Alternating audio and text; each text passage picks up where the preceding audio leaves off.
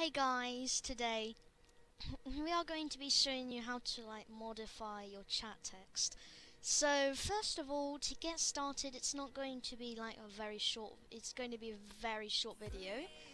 And it's gonna just, it's gonna take probably like, maybe like two minutes. So let's get started. First of all, go to StarterGui and then click this add plus button and then it's gonna and then what you do, you just insert a local script.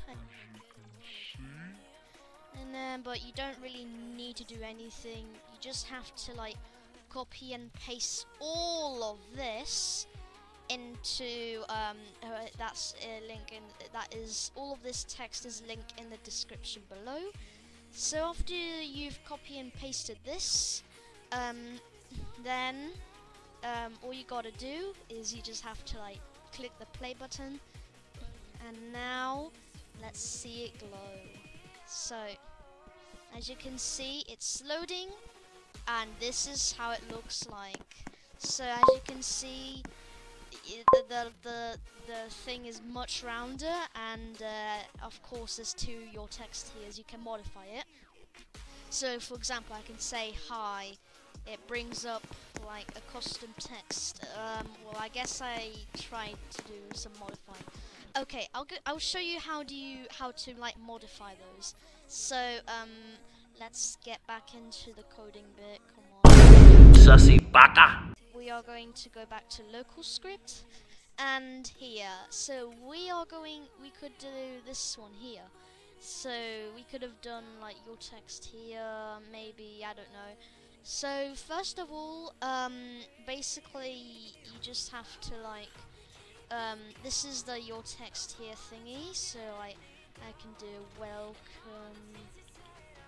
to my game, and and then when we test it, and then it will set. I think it will set to the. Uh, okay, and it, it, it displays this one. So and uh, this is this is just a uh, this is just an uh, example. So um, yeah, and then the and then what you can and then the second bit is that you can customize your font. And uh, um, okay, so we are going to the font here. These are two fonts that I created. Um, like for example, uh, I've got the font IDs here, so you don't have to like just think uh, of fonts in your head. So, for example, I want to set the font to code. So I'm setting the font to code. And let's play. Let's see how it looks like. So let's see how it looks like when you set the font to code. And as you can see, it's gonna load. I know this looks like a normal text box, but it's gonna be changed when we uh, join for some reason. Bro, this is gonna take a lot as you can see, the, the stuff is set up and it sets to the normal font and uh, it, it, kind of includes the little thing.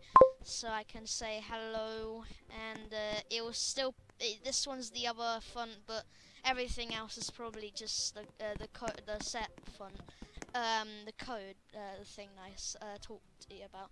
Okay so I think that's it um, I haven't really got much time to do everything else. Maybe you, uh, maybe you could do it by yourself, but this is just some the thing that I made it, and I made this all by myself, and it only has 63 lines of code.